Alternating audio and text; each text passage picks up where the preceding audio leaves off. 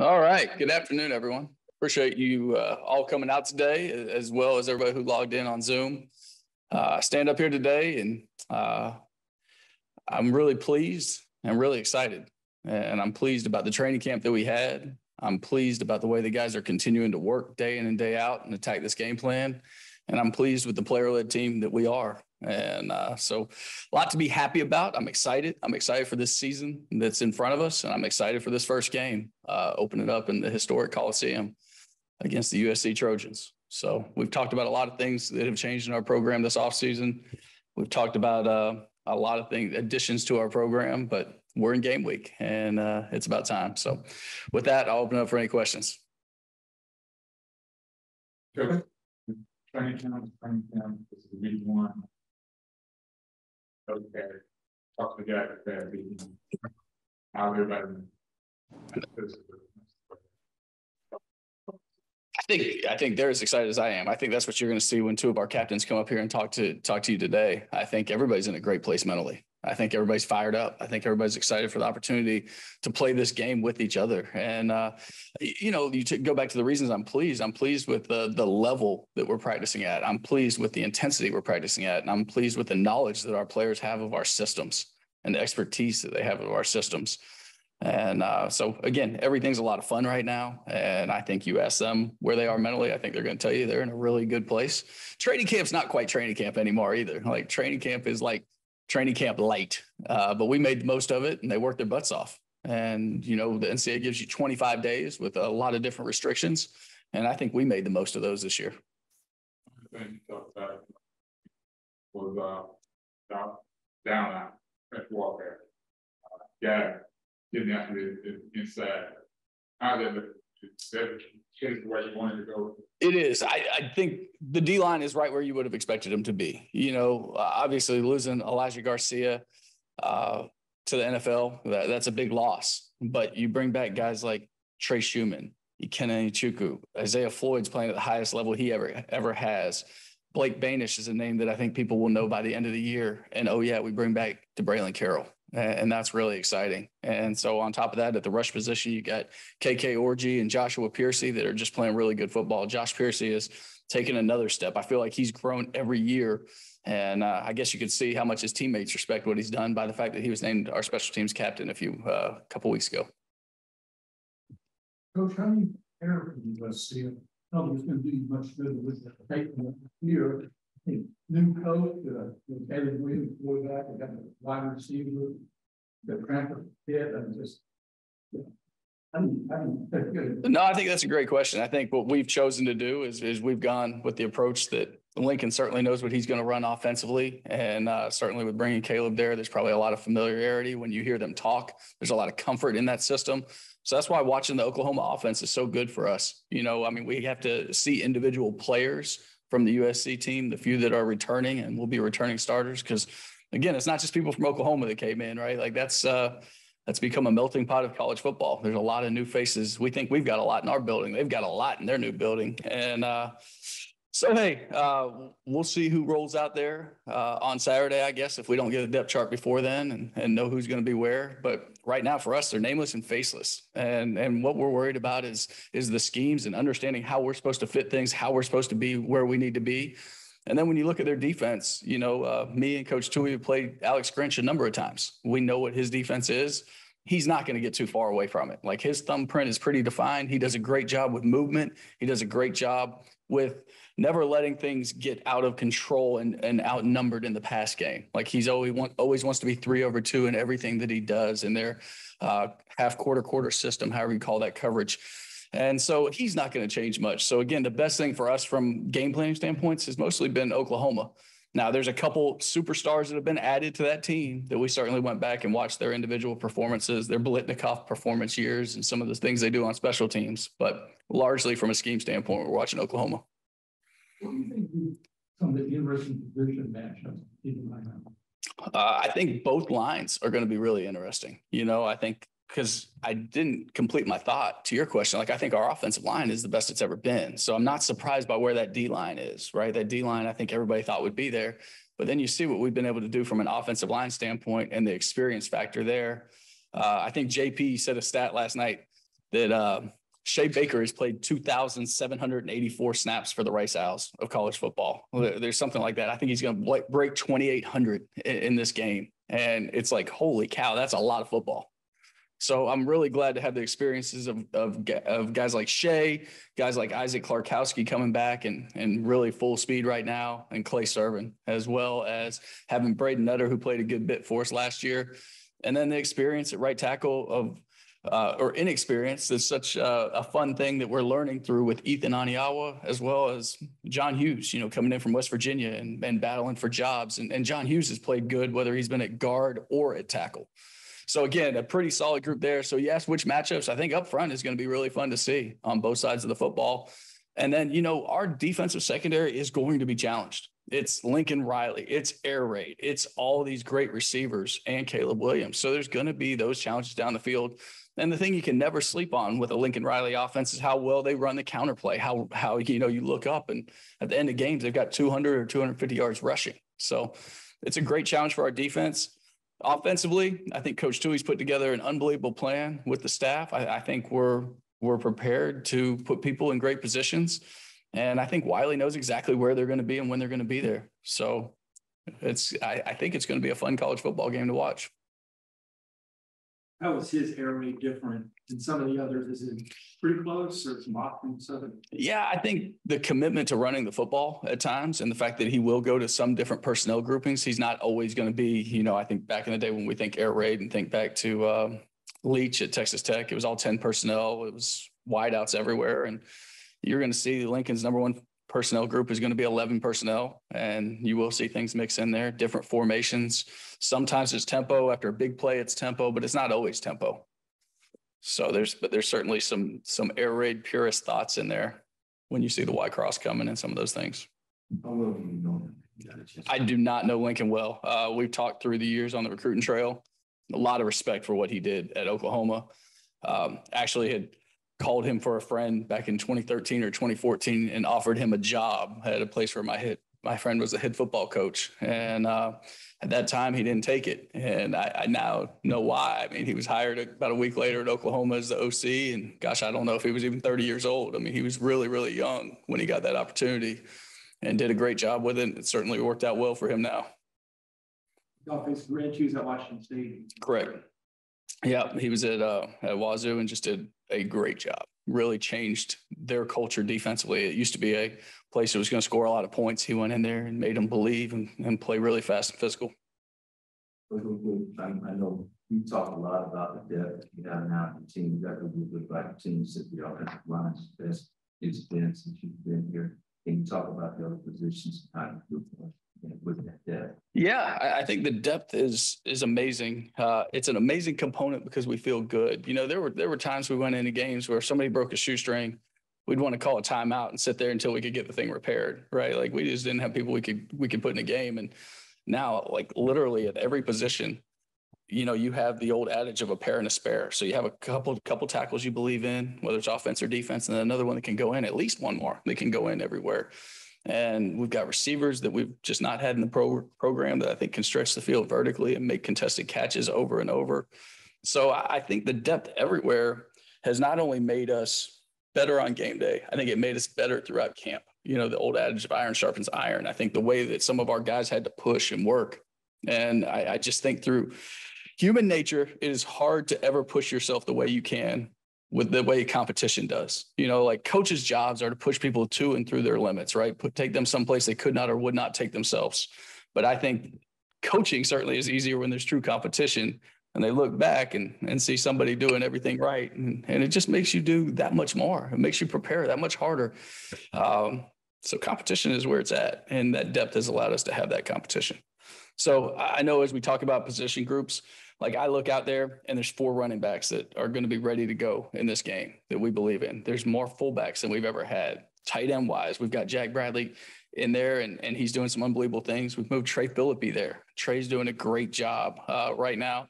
You know, you always saw, I can't remember if you came out to any of the summer conditioning stuff at 6 a.m., but he was always leading those groups, you know, and you're like, gosh, this offensive tackle can really run. And now he's blocking and, and running routes out there in the throw game and looking like a true tight end we talked about the receiver depth. Defensively, the D line, like you can roll eight dudes in there and feel great about it. Linebacker, we've got three or four uh, that are game ready right now with Myron Morrison jumping in there in the second half of this game. And the secondary, I mean, I think we're bringing six, seven safeties on the trip and six corners.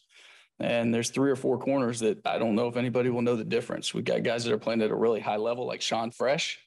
Um, but gosh, beyond that, you got Jordan Dunbar who's playing really good. Lamont Narcisse is a different player than he's ever been.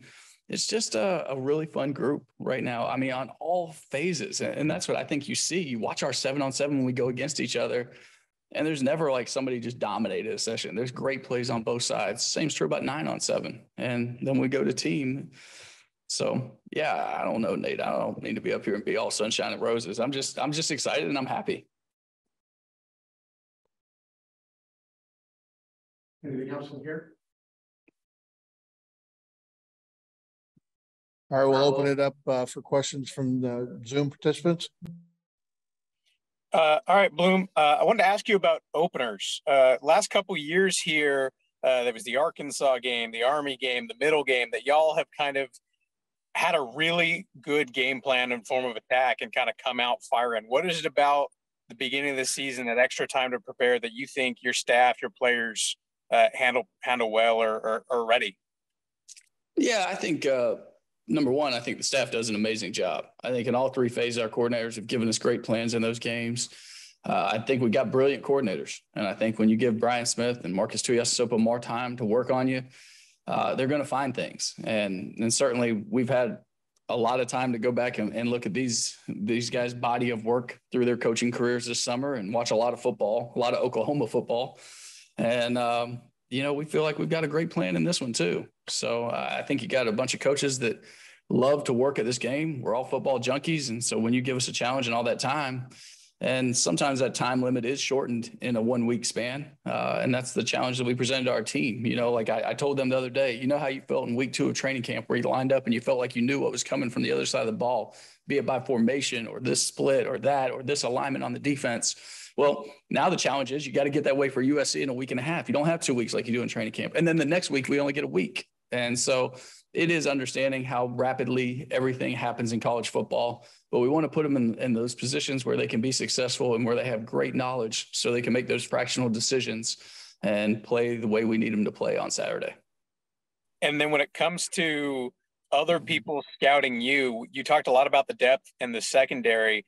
Uh, do you kind of feel like uh, it's hard for anyone, anybody else to get a picture on on who and how y'all can line up and do things because this is going to be the first time y'all have had you know all of those pieces there and as experienced as you've been it feels like this is a, the same group but it's almost a different group does that make sense uh, yeah, it does. I mean, I don't think anybody has any idea what our team looks like right now. If they haven't been to our practices, if they haven't watched our scrimmages, I don't know if they realize what a, a healthy Wiley Green and a healthy George Nyakwol means to this football team. And then you bring up Braylon Carroll, who missed the entire season last year. You bring up Bradley Rosner, who missed, you know, all but two quarters of last season. And, and we're different. And plus, we added some really cool, fun pieces. So, yeah, I don't know. I don't know if um, I, I guess I'm not going to worry about what they think or what they, they know because uh, they'll get a chance to see this football team soon enough. Hi, Coach. I understand that week one is probably the most difficult film study of the year, but what is the added challenge when half of USC's offensive starters are coming in from all different schools and a good portion of their defensive starters are transfers as well? Well, at this point, the biggest challenge is putting together a depth chart to know like what numbers you expect to tell people to be where. We understand the schemes. Uh, but yeah, I mean, it's it's going to be really exciting. Uh, going out there in pregame and trying to jot down who's aligning at what position so we can tell people to be watching for this number to do X or this number to do Y. Uh, so in the modern era of uh, top secret documents, like that's that's where we are. Unless you can get somebody to do a raid for me.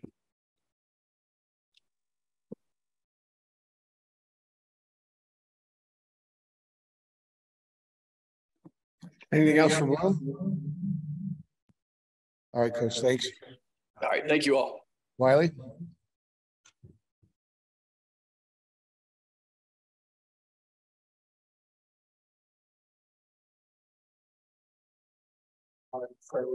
Opening statement about, uh, taking the season off.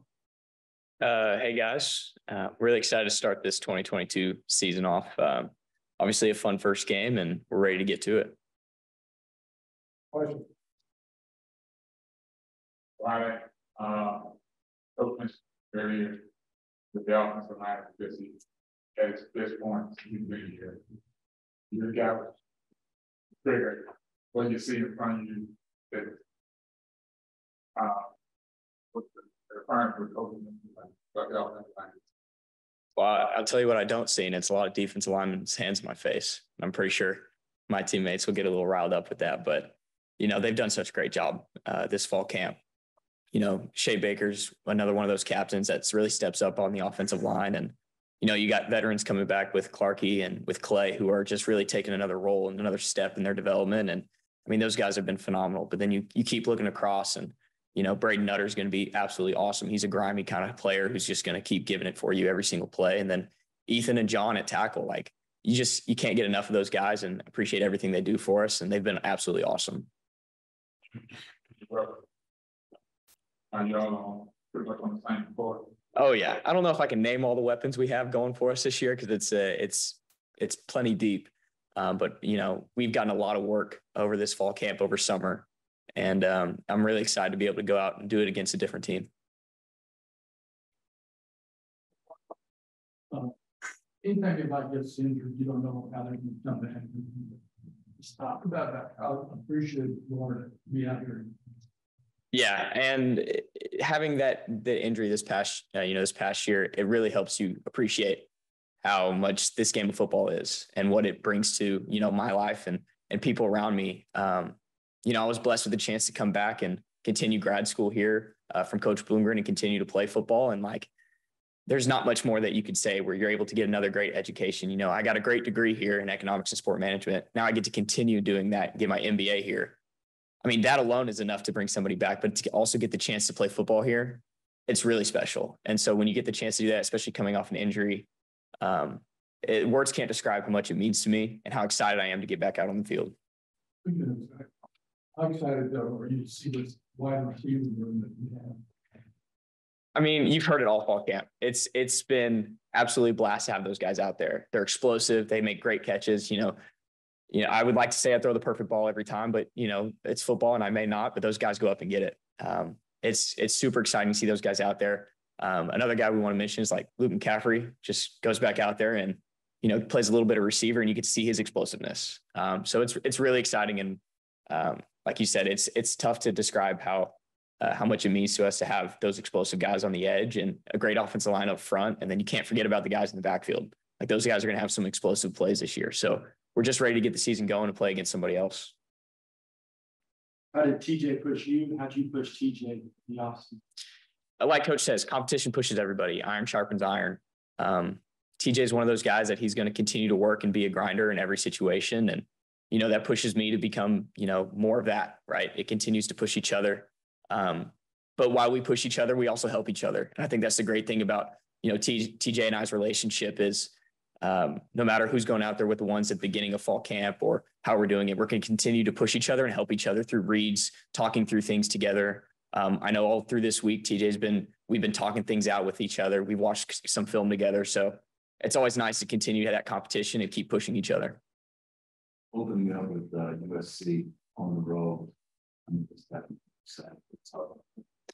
yeah, uh, anytime you get the chance to open up a season, it's exciting. But especially when you get to do it against USC, uh, last year got to do it against Arkansas.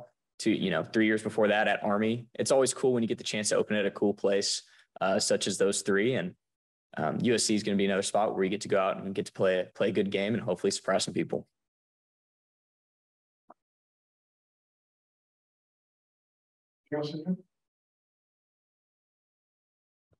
I will take questions uh, from Matthew and Steve. Wiley, uh, like Bloom said, this is a, there's a certain amount of this team that that nobody really knows because they haven't had all the pieces uh, assembled yet. Uh, how would you describe this offense uh, going into USC this weekend? What's it like? Um, well, like you said, it might be hard to describe because we're at a point where we've got weapons all over the field. Uh, we can really put anybody in from the ones and the twos in that depth, uh, where we can rotate guys in and be confident that we you know we're going to get an explosive play. Um, you know, Kobe Campbell is one of those guys that you throw him in there, you you better be sure you know where he is because he's going to explode off the ball and go make a play somewhere. So as we continue to grow in our game and as a team and continue that relationship uh, with each other, like you'll be able to see some of the explosiveness that we have on the field, and hopefully we'll be able to kind of showcase that through the through this game. And then started a, a couple openers now. You go back to Army or, or Arkansas, you know, some some big names in in college football you've gone out there and you haven't really seemed phased. Uh, what is it that you uh, can kind of ignore the the logo on the other helmet and just go out there? Do you kind of feel like you got something to prove, or uh, it's just another game? What is it? Well, football is football. Uh, no matter who you're playing up against, um, it's always fun to go out there and play against somebody. So, you know, whether it's at Arkansas, whether it's at Army, whether it's at USC, um, it's always a really cool experience to get to do those things and being the first game of the season, like you just got to lock in and be prepared for it, uh, no matter where it's at. And I know it's going to be loud. It's going to be a fun time there. But once the game starts and that first snap is held, like it's football. So we're going to be excited to go out and play it. And I think that's my mentality going into it is be ready to go play some football no matter where it is.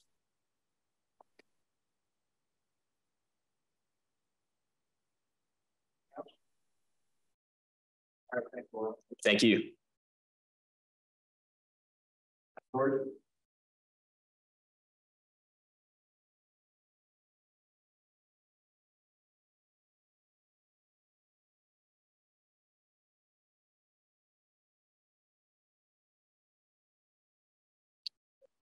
David, a little, a little bit about.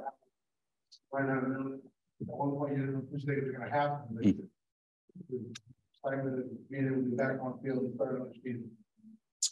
Um, yeah, so I'll start off by saying um, it was pretty tough uh, how I went out uh, in 2021 with the season ending injury and pretty much career ending injury at that point. But um, whenever I got the call last December from uh, Coach Bloom about how I was able to get another season, there was so much excitement. And uh, Christmas pretty much came early because I was like the 21st or the 22nd of December.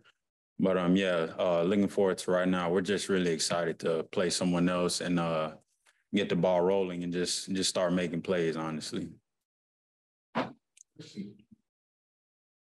Control. Yeah, place in office. You haven't seen a lot of offices like this. You really don't know what all they're going to throw at you. Tell me about the challenge. Um, yeah, I think this will definitely be a challenge for us, uh, especially defensively. But um, uh, you you you've seen the guys play last year. I mean, Caleb Williams. Yo, you've seen him. You know about him. Uh, Braylon Addison uh, from uh, transferring from Pitt. You've seen him as well, and so it's just um, it'll be a challenge being on the field. But as far as like uh, personnel and scouting, um, it's pretty much all the same. Uh, the same way you break down the film for anyone else uh, going forward in the season is the same way you'll break them down uh, in week one. And so it's just about it'll really just come down to technique and executing. Um, even though they have the stars, um, everyone's beatable. Getting more pumped up though when you're going to go against a, a receiver like that Pitt transfer, he's as good as they get. Oh yes, sir. Um, yeah, like you said, he's as good as they get. But um, I know we've got the guys in our room to lock them down and do what we have to do to win. Um, because I believe in every single one of us in our room. Uh, I trust our two deep uh with without a doubt. And so it just come down to execution and playing technique uh, for 60 minutes, and we should we should come out with a result that we that we like. What is it about Addison that is impressive? Obviously, best receiver in the nation last year. What have you seen?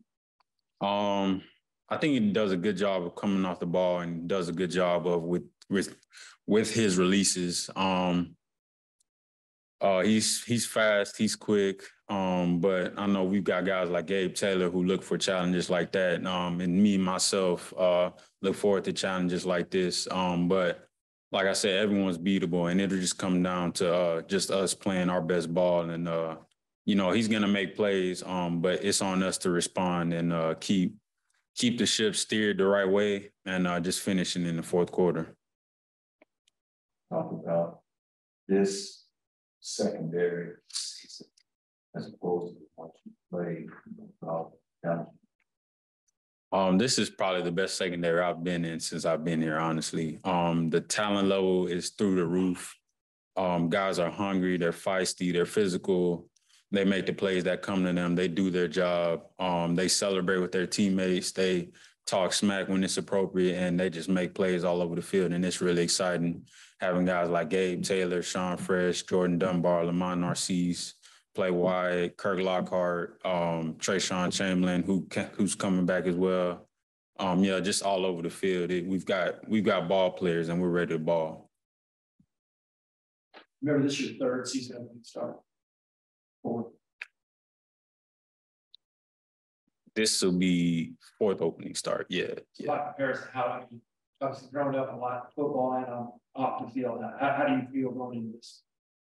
Um, I feel a lot more confident, not only in myself, but in the team as well. Um, we're we're a lot closer. We're a lot better. We're much more physical. We're much more experienced, and we're just ready, ready to start just hitting people all over the field and uh, making the plays that come to us. Really, um, whether that's getting in the box offensively or defensively, stopping them from getting in the box. But you look like you had about six inches to show it all. Those six, you know, the injuries and things that had that helped you sort of recover, want to even get bigger than. Oh yeah. Um, I think injuries really make you appreciate what this game gives and takes from you. Um, but um, I'd, I'd be wrong if I didn't shout out Coach Hans and his staff for not only developing us, but uh, with things like injury maintenance and uh, rehab as well. Um, the training room staff as well, uh, with Dee Doheny uh, in the training room. Um, but yeah, it's it's a player-led team, and so we hold each other accountable in order to maintain and uh, get better. And as like Coach Bloom alluded to, uh, the competition always brings out the best in each other. And so um, just pushing each other has helped us uh, get bigger, faster, and stronger during the summer and during fall camp.